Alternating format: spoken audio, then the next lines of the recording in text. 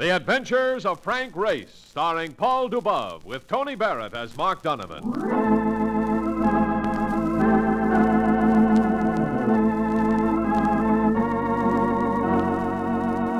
The war changed many things the face of the earth and the people on it. Before the war, Frank Race worked as an attorney, but he traded his law books for the cloak and dagger of the OSS. And when it was over, his former life was over, too.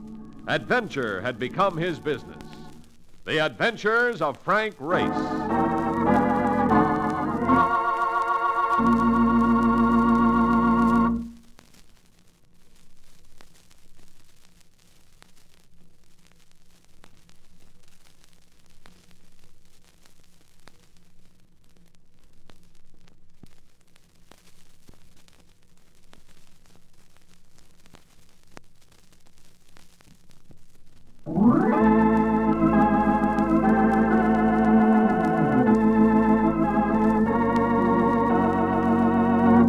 We join Frank Race for the adventure of the silent tongue. There's a single row of cells in every state penitentiary where there is never any laughter. In these cells, the lights burn with a feverish brightness day and night because there is no sleep, no rest this side of the big sleep. Murderer's Row. This is the death house. The grimness of the place is hard to describe. It even gave Mark Donovan the creeps as we walked along behind the silent guard. Ooh. You know, Race, a guy must be nuts to wind up in this place. Here they hold a wake for you before you're even dead. I guess a man must be pretty sick mentally before he can commit murder, even if he is legally sane. Hey, tell me something. How come they're letting you see this Monty Quinn? Ain't they gonna fry him tomorrow night? Yes, I'm in the nature of a last request. Apparently, Quinn has no family and no friends who would risk a visit. No, but he still has the two million bucks met Ahmed Khan stick up. Fat lot of good it'll do him now. He's kept it well hidden, though. The police haven't found a trace. Neither's the insurance company. They uh, send you to pump the guy before he goes? No, Marcus. Marty Quinn sent for me himself. He knows I've been on the case. Hey. You'll turn a pretty penny if he tells you where the loot is, huh? No. If he was going to talk, he'd have talked before this. I'm afraid he has something else on his mind. There we are. Your friend will have to wait out here, Mr. Race. Grab a seat on the bench, Mark. Yeah, sure. I'll have to frisk you, Mr. Race. Prison regulations. Certainly. I'm not armed. All right. Come on.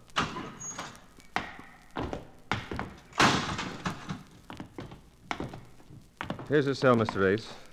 The warden said you can have three minutes. You're not to touch the prisoner, and nothing is to pass between you. I understand. Hello, Race.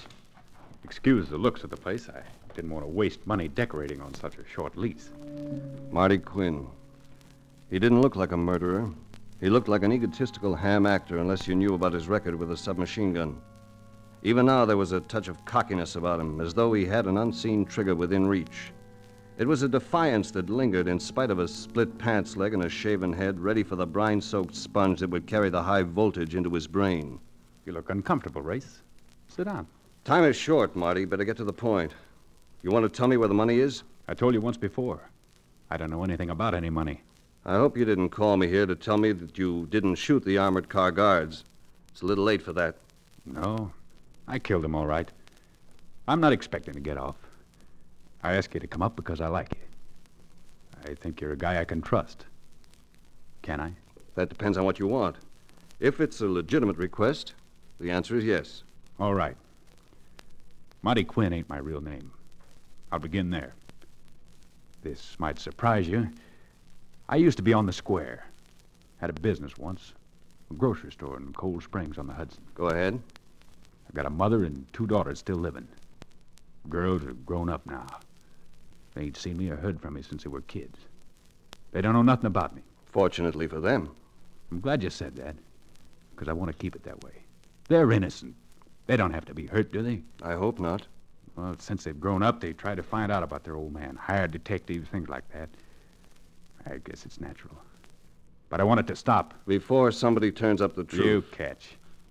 And you can stop it for me if you will, before they get hurt. How? I got a safety deposit box at the Hawthorne Fidelity Trust. Now, don't let your eyes light up. There's no dough in it. Pardon me for hoping. I want my kids to think I'm dead, Race. I will be, so that won't be a lie. But I want them to think that I died in South America, someplace on an engineering job, say. Can you understand that? I can almost sympathize. Maybe you think a guy like me couldn't love nobody. But I did. My old lady and the kids. There's something in that box that'll convince the old lady I sent you. They'll believe the story. What is it you want me to take to them? Just a pair of baby shoes, Race. I had 'em covered with bronze. Both of the girls wore 'em before they could walk. It was the only thing I took to to remember them. And that's all that's in the safety deposit box? Yeah. Somebody else got that hold up dough, I told you. If I had it, wouldn't I want my kids to get it? Not that they'd touch any of that kind of money. They were raised right. How do I get into the box, and where do I take the shoes?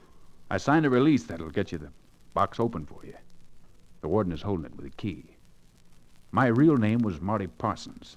My old lady is Ella Parsons. And the girls are Ruth and Carolyn. They're still in Cold Springs. This is the last favor I'm ever going to get to ask anybody, Race. The last and the biggest. Will you do it? Yes. Yes, Marty. I'll do it.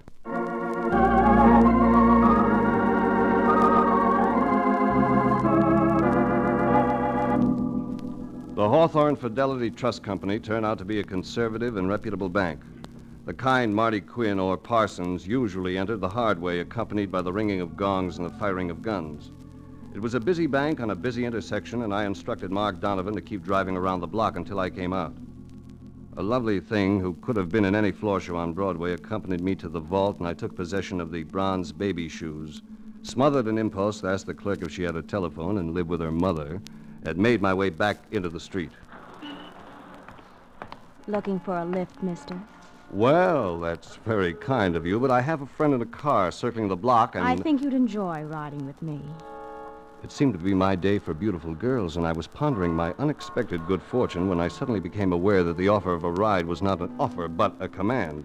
A command backed by a pistol the girl was holding in her purse. The green sedan there. Get in. You frighten me. I might be arrested for hitchhiking. If you don't move, you may pick up a ride to the morgue. If this baby was fooling, it didn't show in her deep brown eyes. There was something smoky about them, like fire smoldering under autumn leaves. She prodded me with the gun, and I climbed into the back of the sedan. Behind the wheel sat an old lady in a bonnet. She looked like Whistler's mother. There was another young girl in the car, too, and she looked like the one who made Whistler whistle. Since we're making a tour of the city together, permit me to introduce myself. I'm Frank Race. You know who we are. Yes, I take it that you're Marty Parsons' eager relatives. Which one are you?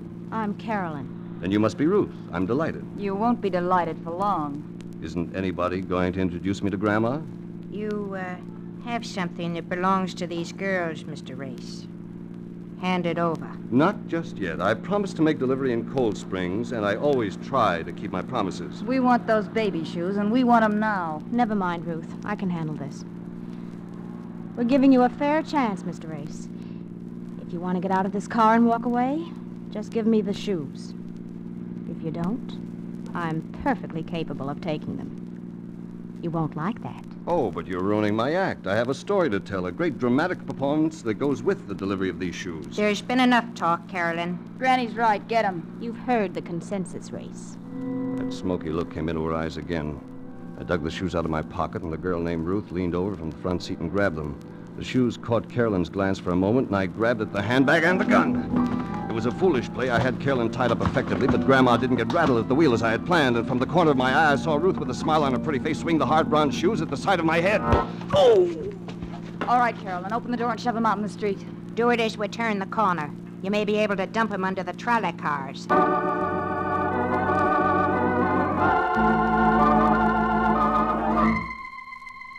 I came out of a pink and green world all my own and returned to Earth with a severe headache.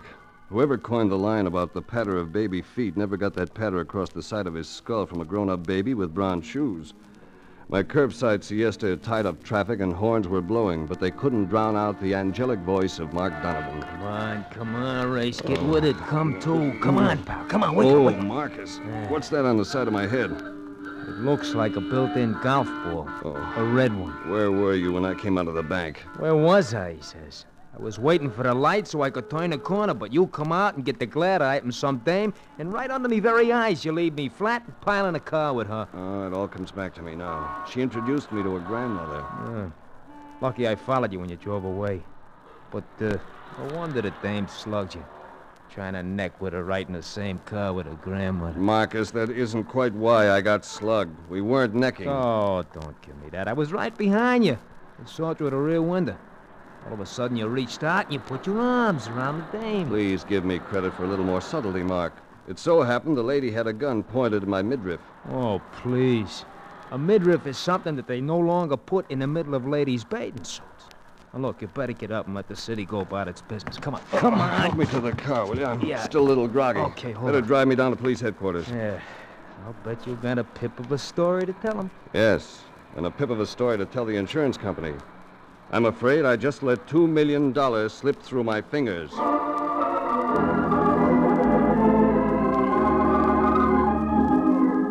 On the way to police headquarters, I briefed Mark on the story Marty Parsons had told me in the death house. The actions of Carolyn and Ruth and Grandma had taken it out of the confidential stage. I brought him up to date on all that had transpired up to the point I had blacked out. Oh, brother. He really fed you a line, didn't he? Yes, but he also cleared up a point. He was lying about somebody else getting away with the money. He got it all right. And now the dames have their mitts on it, huh? I'm afraid that's it. Yeah, but Race, a pair of baby shoes. you couldn't stuff two million bucks in them, unless it was uh, in million dollar bills. And there ain't no such thing. Or is there? Hmm. Only one I ever saw had a picture of Mickey Mouse in the middle of. it. No, the money couldn't have been in the shoes. As a matter of fact, I felt inside of them they were empty. But they tie in someplace. I wish I knew where. Well, Maybe the cops can help at that. Oh, here we are.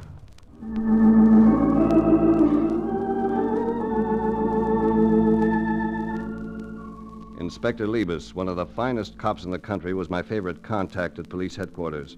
Mark and I went up to his office and waited while he chewed his cigar nervously and poured methodical orders into the telephone. Make sure they set up roadblocks on all highways leading into town. But check the cars going out, too. Get all the available men back on duty right away. I want to double the watch in all rail terminals and bus stations and triple it in the airline. Get Summers and Drake over here right away with a car. I want them with me. Hello, Race. Donovan. Hi, How are you? You seem pretty busy, Ed. Plenty busy. Do us both a favor, Race, and get out of here so I can make believe I didn't see you. You should be glad to see me. I think I have a lead for you that may turn up the money Marty Quinn or Parsons picked up on that armored car stick up. You'd better have a lead, Frank, and it better be a good one. It's fresh, very fresh. I saw Marty in the death house last night. Yeah, I know you did. That's why I want you to get out of here before I'm forced to pick you up. The order should come through from the commissioner any minute. Pick me up, Ed? Why? Because you were the last man from outside the prison to see Marty Race. You were admitted to death row last night. And just an hour ago, a few hours before the time scheduled for his execution, Marty turned up in the cell block with a machine gun in his hand. He's on the loose, Race. He killed four guards and escaped.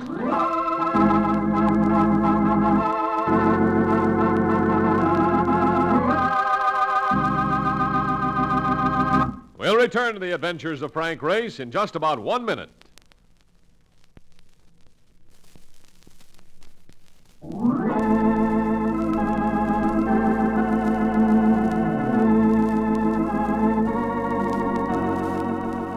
And now, back to the adventures of Frank Race.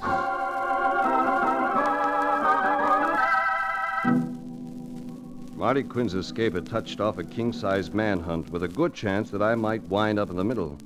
Just as he finished dishing out the information, Inspector Liebes had another phone call, and Mark and I took the ring as a signal to get lost while there was still time. We made our way to the car and headed crosstown. Oh, brother, I thought that cop was going to toss you in a clink, but fast. Just give me a break because we're friends. He knows I had no part in that escape. Hmm. Somebody must have been awful careless to let that Marty character get his mitts on a chatterbox. It wasn't an accident. That break was planned, well planned, and perfectly timed. Yeah, so how do you know? Because that's why he sent me in after the shoes. That box was checked by the police when Marty was taken in, and they passed up the shoes because they seemed irrelevant and personal. He wanted them, though, and he knew that I could go in and take them out without question. If he tried to get to them after the break, he'd be nailed. Makes sense. Uh-oh.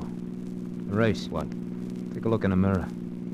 I think that heap behind us has been there since we left police headquarters. Uh-huh. I guess Liebes put a tail on us just to make sure he can pick me up if they force him to do it. No, I don't think so. That ain't the kind of car cops use. Let me try shaking him, huh? All right. Take the next street through the factory district. Yeah, right. Yeah, that does it. We're tagged, all right. There he comes. Slow down and see if he goes past. Yeah, I'll scoot up that ramp between those trucks. He's coming by. The ramp, quick, Mark. Cheek is bleeding, Mark. Yeah, broken glass. We better duck through this factory before he comes back. Right. Marty's on the loose, and I'm the only one who can identify his women. From now on, Mark, we'll be trying to catch them, and he'll be trying to kill us.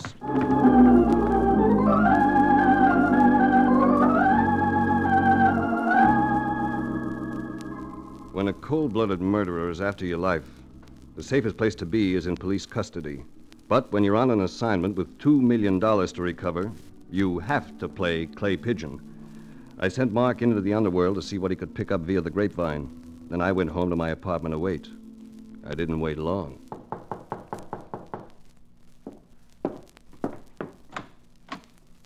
May I come in, Mr. Ace?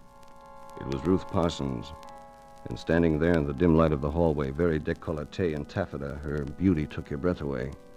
I had to keep reminding myself that with this baby, it mightn't be a temporary condition. She might take your breath away for good. I could use a drink.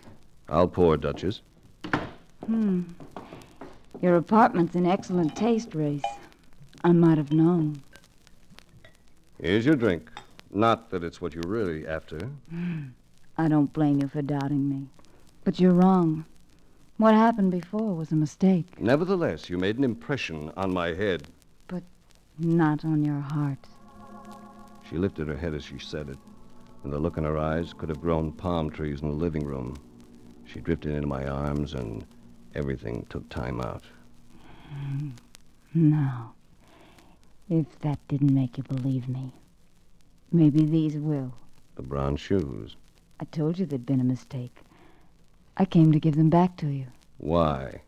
Because the man who sent you after them isn't really my father. He was lying. So are you, baby. You expected to find something in these shoes, but you didn't. What is it? There's no tongue in the right shoe race. What happened to it? It was missing from the shoes when I picked them up. If you've got it, you'd better say so. Unless you want to lose your best friend. What do you mean? Carolyn and Granny have Mr. Donovan. Unless I get the tongue to that shoe, he's going to have an accident. If he does, you'll have one too, Ducky. Let go of me! I'll let you go after you leave me to Mark Donovan.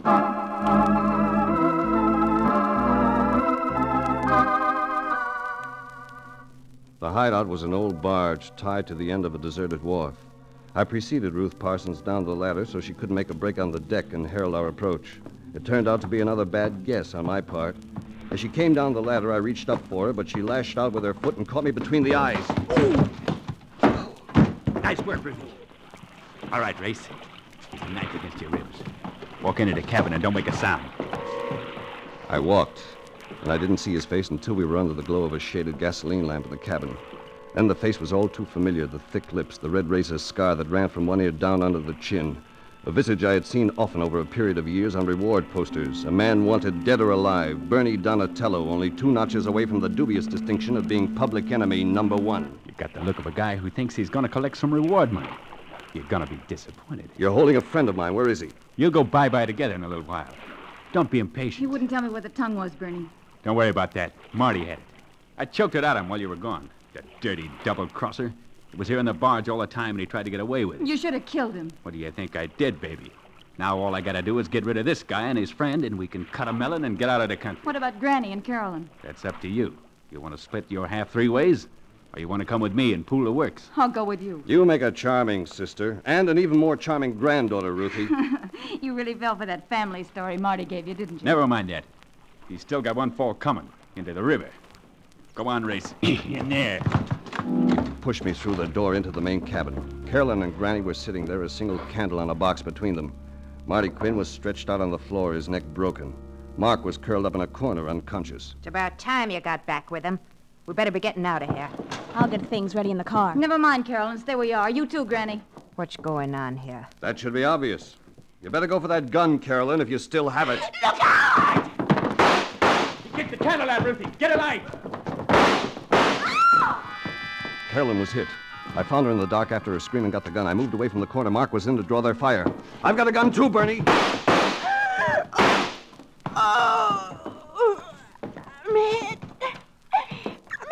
Come on, Ruthie. The door.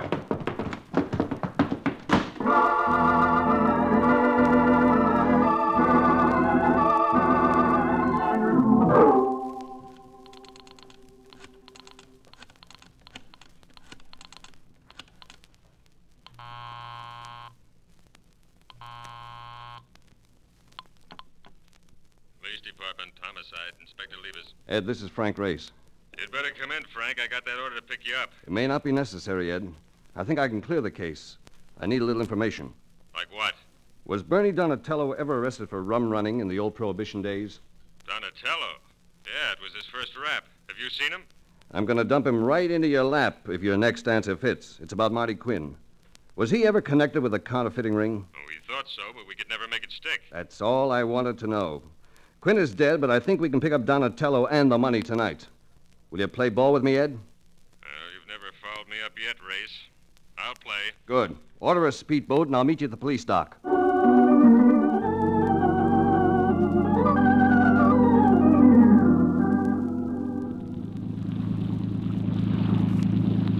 This hunch of yours better pay off, Race. I think it will. Look, what makes you think the door is near Cold Springs on the Hudson? Marty made me think so.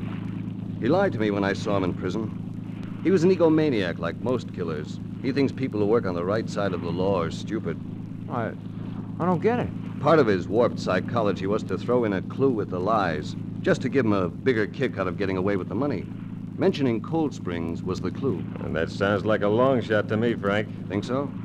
If Quinn was a counterfeiter at one time, he'd know engraving, wouldn't he? Yeah? That's what was on the baby shoe tongue. An engraved map on the bronze showing where he buried the two million. Well, that could be. And Bernie Donatello is an old rum runner, figure stone, and operates a speedboat.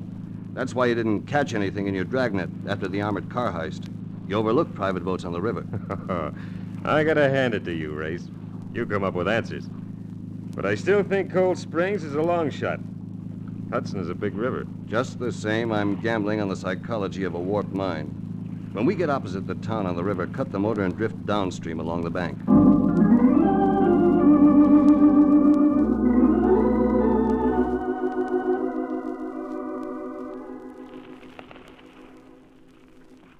Well, 2 a.m. race, and this is about the tenth time we've drifted downriver. They've got to show sooner or later, Ed. All right.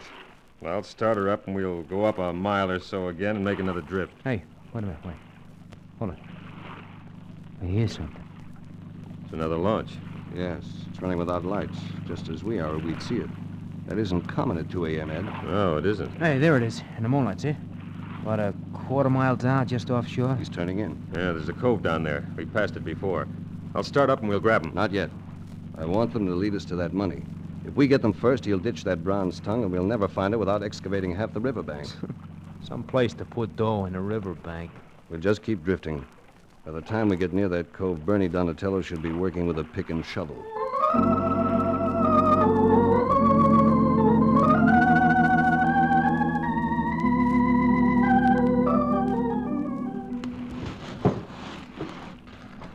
This is good. He'll tie up here. We're about 50 yards above the cove. We can fan out as we crawl through the brush. You both got guns? Yeah, sure. Yes. Let's go.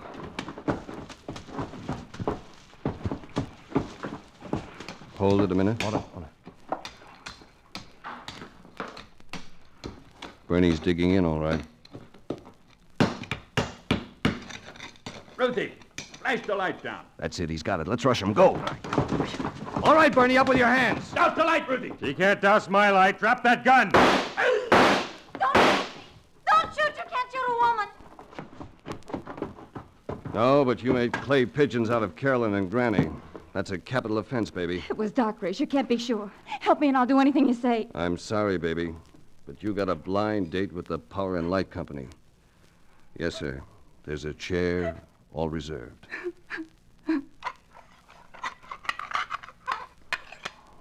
Uh, here's the dough, all right, Race. Good. I'll turn it over to the insurance company. Oh, baby, baby, look at that cabbage. Hmm? hey, look, would you guys do me one favor before you lock it up? huh? Oh, what's that? What, Mark? Just uh, let me spread it out on the beach, huh? And once, just once, I want to run through it barefoot. I bet I can run through two million bucks faster than anybody in the world.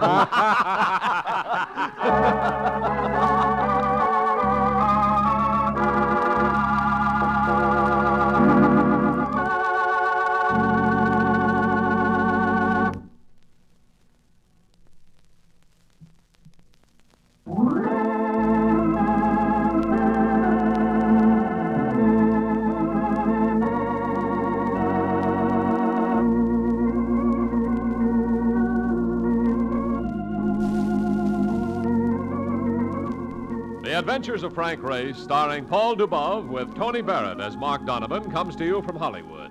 Others heard in tonight's cast were Eve McVeigh, Joy Terry, Michael Ann Barrett, Frank Gerstle, and Tom Charlesworth. This series is written and directed by Buckley Angel and Joel Murcott. The music is composed and played by Ivan Ditmars.